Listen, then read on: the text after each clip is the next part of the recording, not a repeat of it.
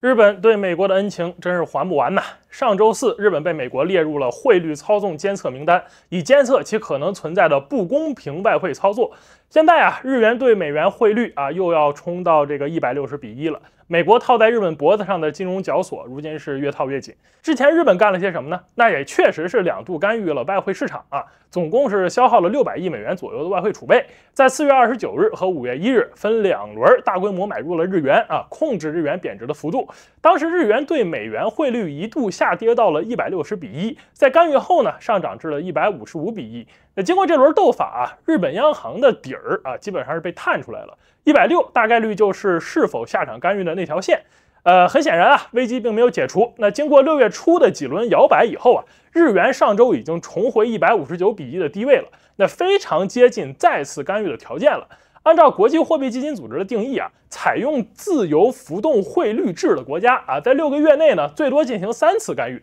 每次干预不超过三个工作日。也就是说啊，短期之内，日本央行只剩下一次公开干预市场的机会了。要注意的是啊，一开始提到的汇率操纵监测名单，包括可能被列为汇率操纵国的这些操作啊，都是由美国单方面制定标准并定义的。如那么，如果一国政府过度干预汇市啊，真的操纵了货币，会发生什么呢？或者说，美国会对其做什么呢？目前尚无定论啊，但可以说这像极了一顶莫须有的帽子，扣上了之后啊，是杀是剐，美国人说了算。那比如说大规模的贸易制裁，或者通过各类国际金融组织对一国搞孤立，这就是金融霸权嘛，行不可知啊，则微不可测。说难听点啊，就是又当又立啊。但这个问题的重点在于，你能和美国人做到何种程度的对抗？美国人说你有大规模杀伤武器的时候，你手里最好真的有。联想一下 SWIFT 的系统啊，那威胁将你踢出 SWIFT 的威力最大的时候，往往是你与 SWIFT 关联最强的时候。那就说俄罗斯吧，你真把它踢了啊，那确实是有影响，但好像也没削弱其战争能力。